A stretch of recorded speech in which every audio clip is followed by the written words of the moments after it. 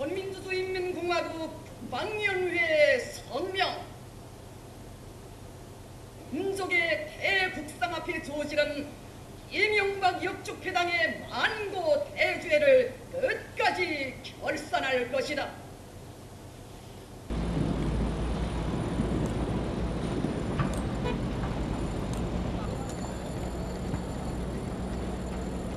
우리의 중대 보도가 나가기 바쁘게 이명박 역적 회당은 괴뢰 육해공군 부대들의 경계 비상과 전투 비상을 하더라고.